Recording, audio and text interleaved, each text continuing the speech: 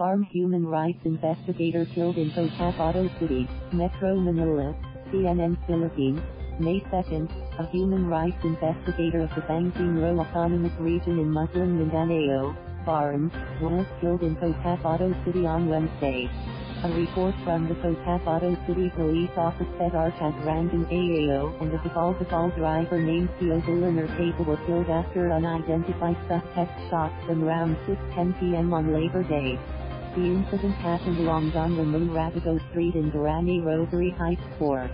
The police report said, Ayao was on board board at the fall when they were shot. Both were brought to the Cotabato Regional and Medical Center but were declared dead on arrival by the attending physician. Scene of the crime authorities recovered two cartridge casings from a 45 caliber pistol. Authorities are now investigating the incident to determine the identities of the suspects as well as the motive of the crime.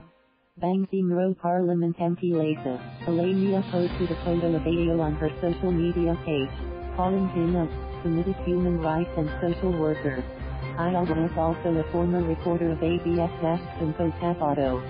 His life has been snuffed out earlier tonight. Unbelievable. Another senseless death.